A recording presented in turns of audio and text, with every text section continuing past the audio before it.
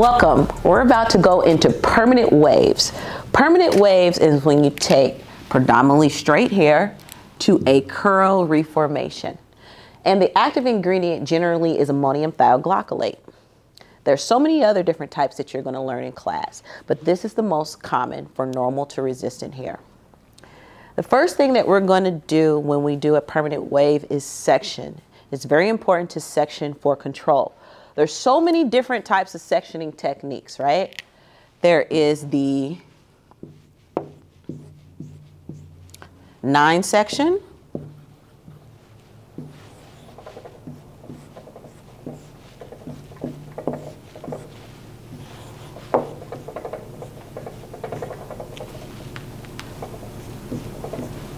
And there is the eight section. There's more, but one that you need to get accustomed to is also that bricklay.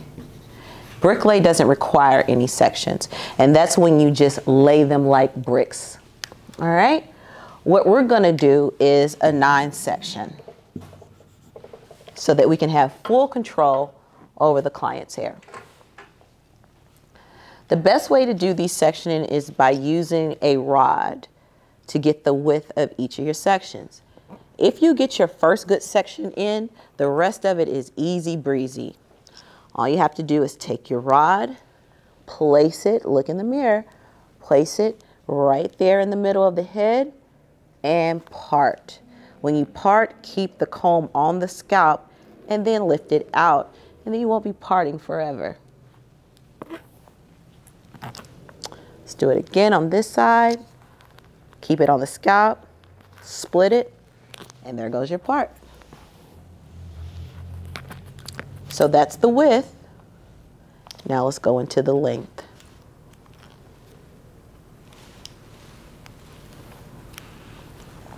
If you take time to do your first section really nice, the rest of it, I promise, is going to be very, very easy or I should say simple.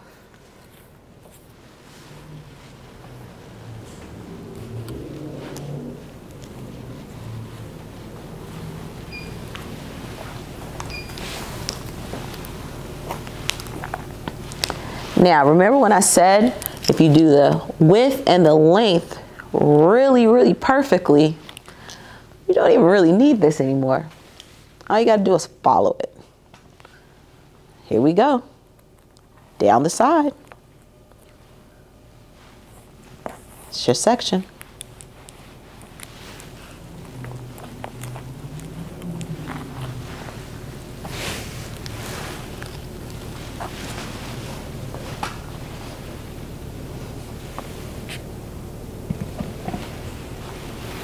Here we go.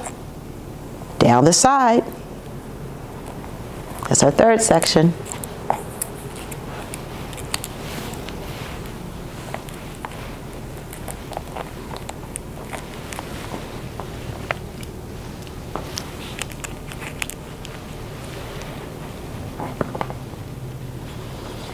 Now, again, since we already have this pretty perfectly, all I got to do is follow it. The most challenging section is that middle section. Why? Because that's when the client's head gets a little wider, a lot more hair to control. But just follow it down. And it's going to create your next three sections. And you're going to go all the way to the nape, the nape area.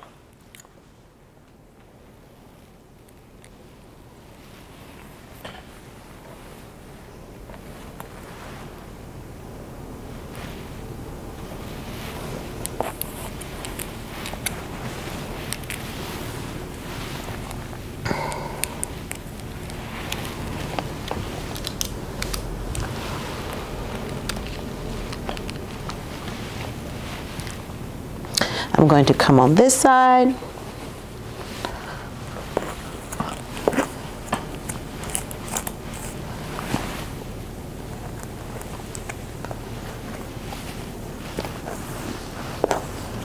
Separate it. Follow it down to that nape area.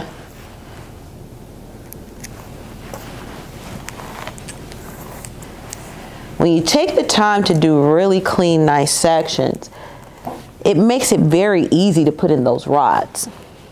More simple.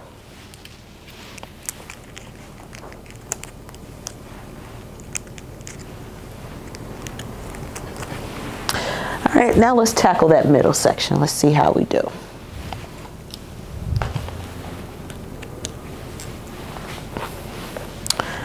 Ah, pretty smooth.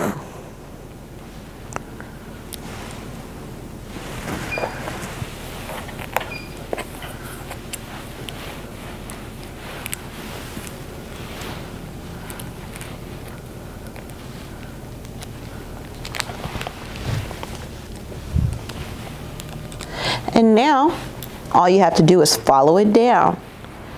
One, two, and three.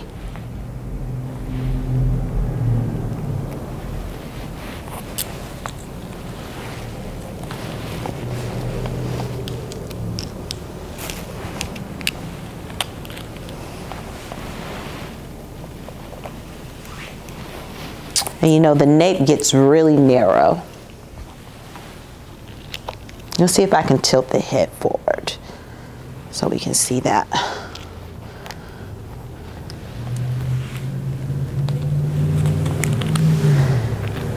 All right, and there you have it. You have quickly put in your nine sections.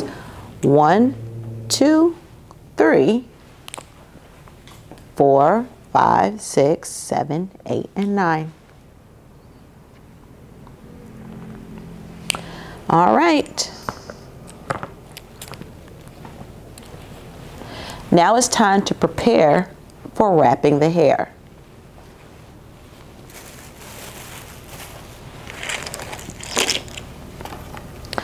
When you wrap hair, you're going to use what is called end papers. End papers help us to seal the ends as we wrap the hair on the rods.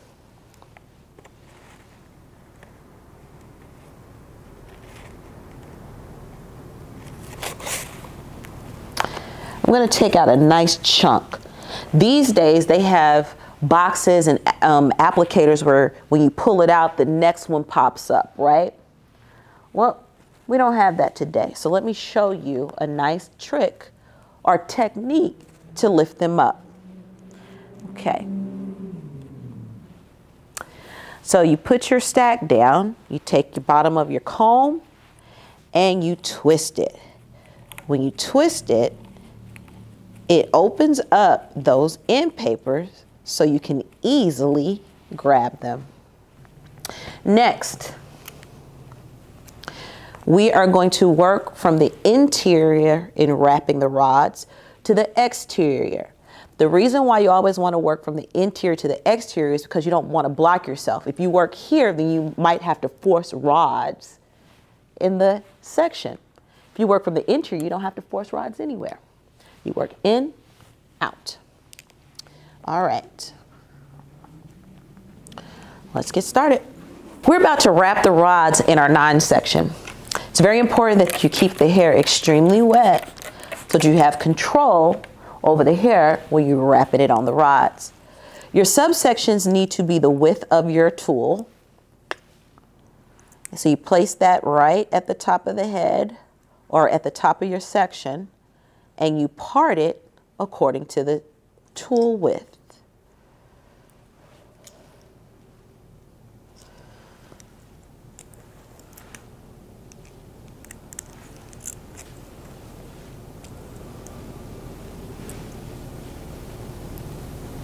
Okay. Now what you're going to do is you're going to grab your end papers. There's a few ways to use your end papers. I'm going to show you both. One way is single.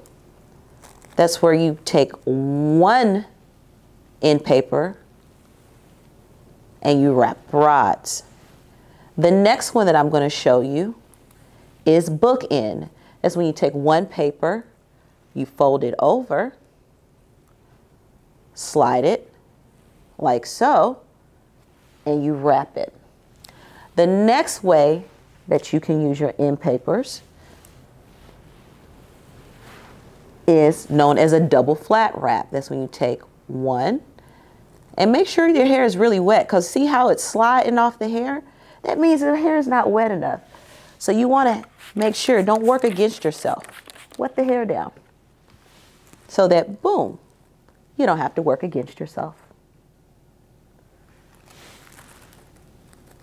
All right, this is a double flat wrap. Slide it up and wrap the hair. So the three wrapping techniques is a single, which is one paper, a bookend is where you take one and fold it over, or a double flat wrap, which is one on the back, one on the top. Now what I'm going to do is I'm going to hold it out. And make sure you start wrapping paper before you start wrapping hair so you don't have those fish hooks. And I'm going to rock it back and forth. Rocking it back and forth allows one side to not be loose or tighter than the other. And you wrap it going down, just like so. Take your finger, hold it, make sure that your band unravels, and then you connect it and attach it. Make sure that band is on top. It sits just like so. Let's do that again.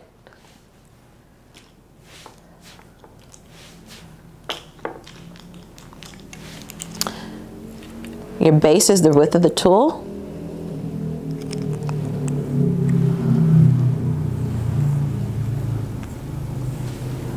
Sure the hair is wet. This time I'm going to do a book wrap.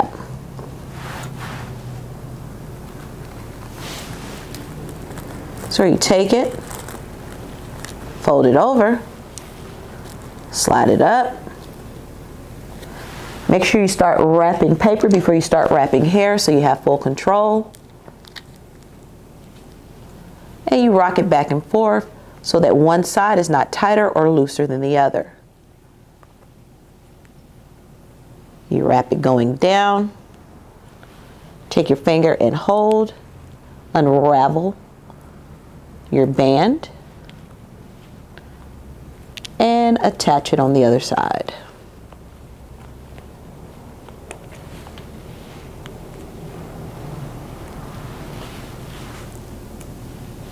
All right. You're going to do this all over the head. And then you're going to move on to your solution. All right, so we have completely wrapped the head, right? I'm to just moisten it up a little bit. And now what I'm going to do is I'm going to take my protective cream and apply it around the perimeter of the hairline. This is to prevent from any type of chemical sensations also known as burns. Get the ears.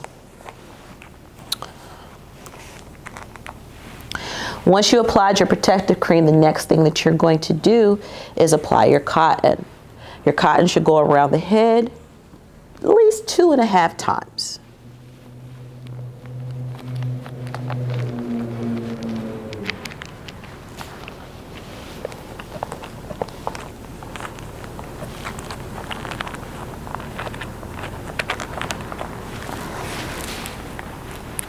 That's one.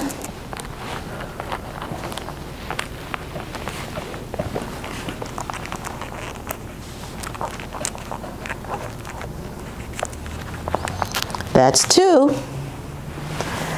And a little half to tuck.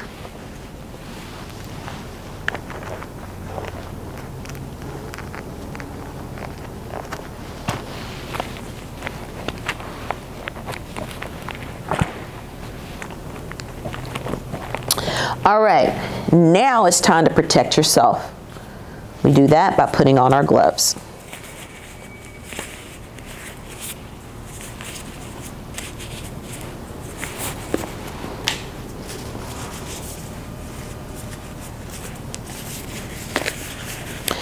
Now that we have ourselves protected, clients protected, now it's time to put on the solution. We're about to put on the permanent wave solution. We have sectioned the hair. We have wrapped the hair on the rods. We put on the protective base. We have on our cotton to protect the client. We have on our gloves to protect ourselves. Now we're at the solution. Now, when you're doing it, you always want to start in the back and then the front. The reason why, if you start in the front, when you get in the back, most likely you need the client to tilt. If you start in the front and they tilt, where's the product going? All in their face. So make sure you start here, around going down, and then the client can tilt back, and then you do the top. Let's go. You always want to hit it on the top and the bottom. The top of the rod, the bottom of the rod. Or until it's completely saturated. Because I could say top and bottom and it's not completely saturated. It will be an under processed service. And we don't want to be under processed. And we don't want to be over processed either. Anytime you have any extra drippage, take a towel, hold it.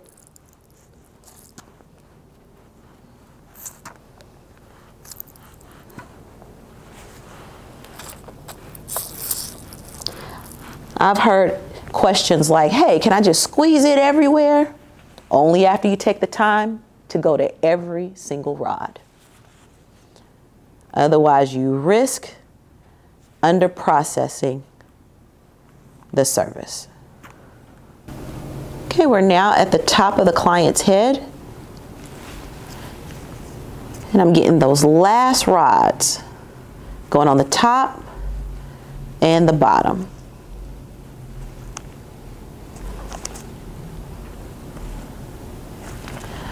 Notice how the client doesn't have any excess major drippage. It's all about technique and strategy.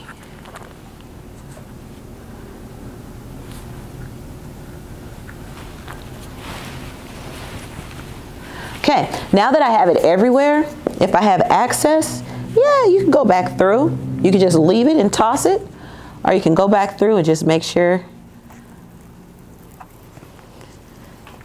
you got everything on there.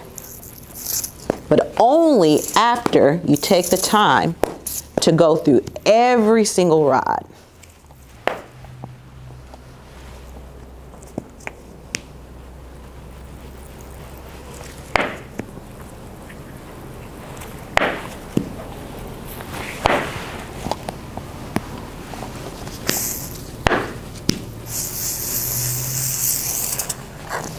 All right, very nice. Extra drippage. Client's head is tilted back. Just towel blot. All right. All right, now that we have the solution all over the client's head, no extra drippage on the cotton. If there was extra drippage on the cotton, you would want to remove the cotton and put the cotton back that is dry. So replace the cotton. Now we're going to put on a processing cap.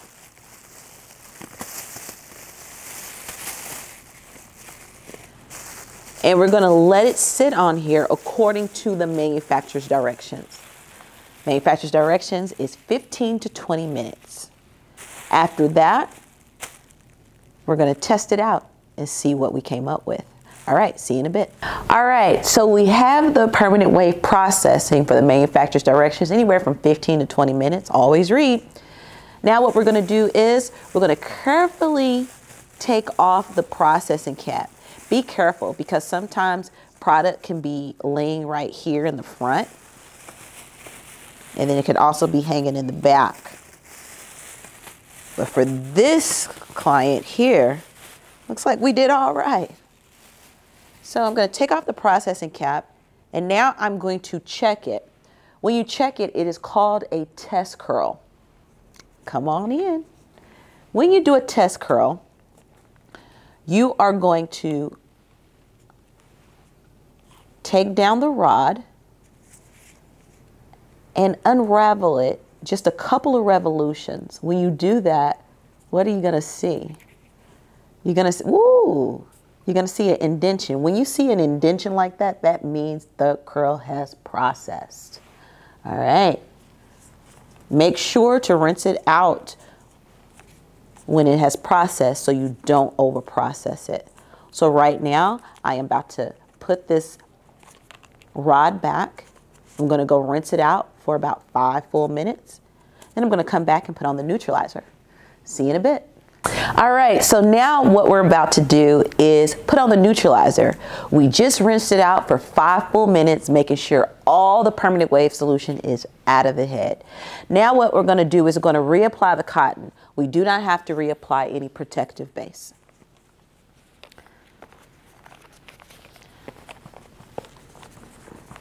Reapplying the cotton around the hairline just to prevent from extra drippage. In a salon or barbershop environment, you are free to put the neutralizer on while you're at the shampoo bowl.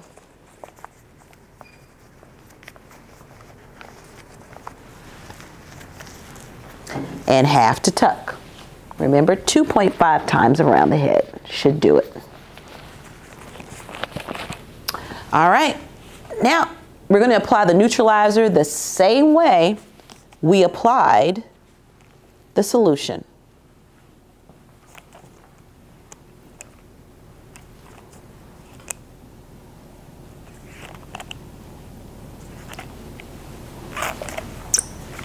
Always do the back first and then move to the top.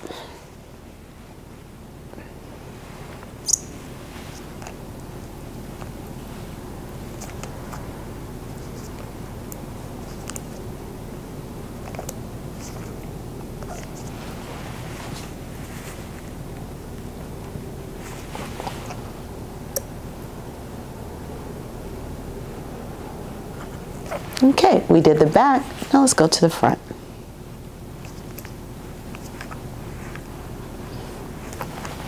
Feel free to grab a towel to catch any extra dripping.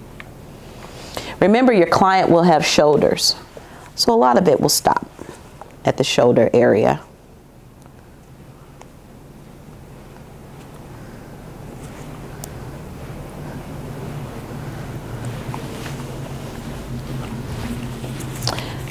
Tilt my client's head back.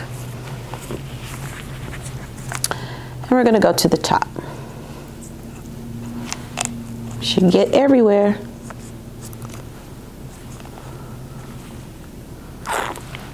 And tilt.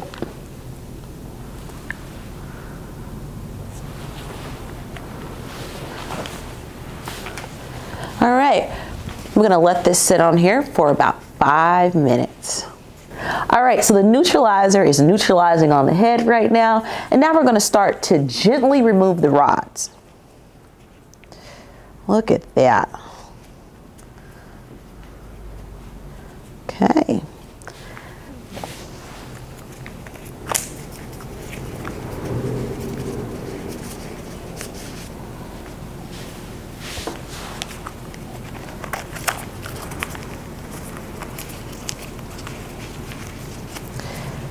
Be sure to make sure those ends are not snagging inside the rods. Just gently remove. All right, taking out the last rods.